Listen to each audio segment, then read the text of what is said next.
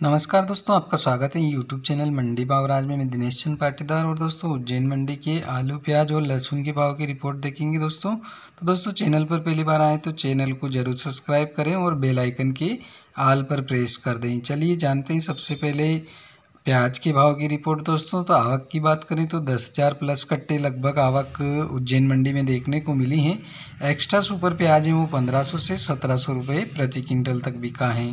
Super प्याज की बात करें तो तेरह सौ से पंद्रह सौ रुपये प्रति क्विंटल बिका है और एवरेज प्याज बारह सौ से तेरह सौ रुपये प्रति क्विंटल बिका है। कोल्टा गोल्टी प्याज की बात करें तो 1200 से 1300 रुपये प्रति क्विंटल बिका है और गोल्टी प्याज 800 से हज़ार रुपये प्रति क्विंटल बिका है। चांटन प्याज की बात करें तो 300 से 500 रुपये प्रति क्विंटल बिका है। और दोस्तों, प्याज में तेज़ी मंदी की बात करें तो उज्जैन मंडी में आज लगभग सौ रुपये की तेज़ी बनती हुई दिखाई दी है। दोस्तों तो आइए जानते हैं अब उज्जैन मंडी के आलू की भाव। आवक की बात करें दोस्तों तो 2000 प्लस कट्टे लगभग आलू की आवक देखने को मिली है।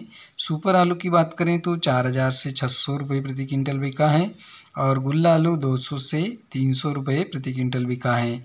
छरी आलू 100 से 200 रुपये प्रति क्विंटल बिका है और छाटन आलू भी 100 से 200 रुपये प्रति क्विंटल बिका है। दोस्तों, आलू के बाज़ार सामान्य देखने को मिले हैं।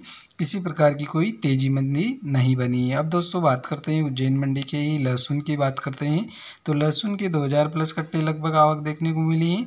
सुपर क्वालिटी का लहसुन है, पाँच हज़ार से पाँच हज़ार पाँच सौ रुपये प्रति क्विंटल तक बिका है और मीडियम क्वालिटी का लहसुन तीन हज़ार दो सौ से तीन हज़ार आठ सौ रुपये प्रति क्विंटल।